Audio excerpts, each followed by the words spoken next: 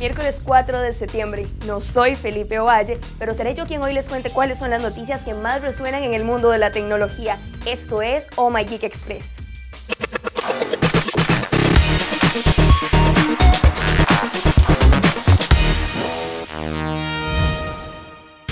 Las gafas de realidad aumentada de Google contarán con su propia App Store el próximo año, y aunque la empresa aún no ha entrado en detalles acerca de cómo será, sabemos que aplicaciones como Facebook, Twitter, Evernote y Gmail estarán presentes como descarga gratuita. Además, la tienda de aplicaciones de Google Glass contará con aplicaciones completamente nuevas, como Glassgram, que es algo así como el Instagram de las gafas, o Beam, que te permitirá subir videos en YouTube. Durante su presentación en la feria IFA de Berlín, Sony mostró dos objetivos intercambiables para smartphones. Se trata de los lentes QX10 y QX100.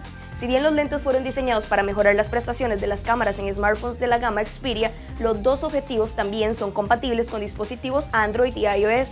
Lo bueno es que con la incorporación de lentes como estos podremos tomar mucho mejores fotos con nuestros smartphones indistintamente si estos son marca Sony o no.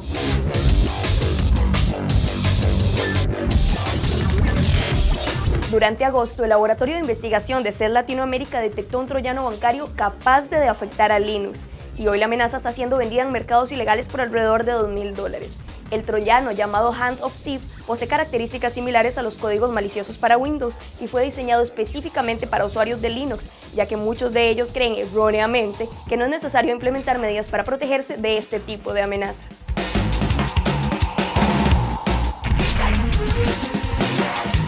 eso fue todo por hoy. Nos vemos en una próxima edición de Oh My Geek Express. Y bueno, ojalá que Felipe ya esté de vuelta porque creo que él es mucho más divertido que yo. Pura vida.